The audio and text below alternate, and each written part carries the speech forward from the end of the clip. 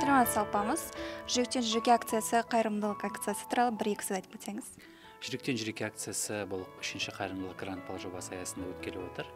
Ә, енді бұл шараның басты мақсаты жүз әлеуметтік жағдайы төмен немесе көп балалы отбасы немесе мүгедек отбасыларға біз тосын сый қорабын жібереміз. Бұл қалай яғни біздің қазір грант балға дайындалып жатырған дана жүз отбасы жүз дебютантымыз бар. Сол жүз дебютантымыз олар өздері осы кім осындай мүгедек немесе әлеуметтік жағдайы төмен кім осы қорапқа мұқтаж сол жандарды тауып соларға өздері қорап дайындады. Қораптың ішіне түрлі сыйлықтар салды. Сол осылай жаңағы бір ауылдағы кісі өзі жаңа айтқандай сиыр сауып үйінен келе жатырған адам өзі ойда жоқта тосын сый қорабын алады. Тосын сый қораптың ішінде жүз жаңағы отбасы осы сыйлықты алады. Оның ішінде жаңағы жылы сөзге жазылған хат дебютантымыздың атынан материалдық көмек біздің эстрада жұлдыздарымыздың кішкентай болса да сыйлықтары жеке қолтаңбалары барлығын осы қораптың ішінен таба алады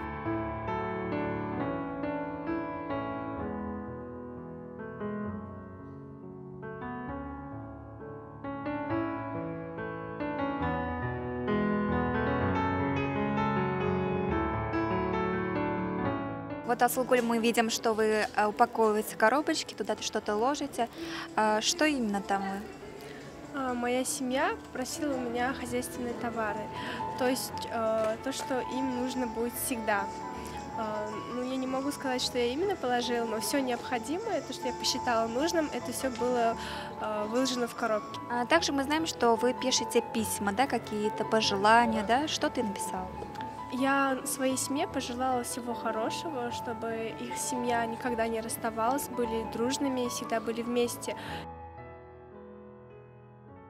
сәлем өзіңді таныстырып жіберсең менің атым сұлтанғалиева саяжан бүгінгі болып жатқан жүректен жүрекке акциясы бойынша ә, мысалға бізге әр дебютантқа ә, міндеттелген ә, отбасы табу міндеттелген яғни олар көп балалы мүмкін немесе жа, өте жағдайы төмен немесе ә, жаңағы отбасында мүгедектер болуы мүмкін.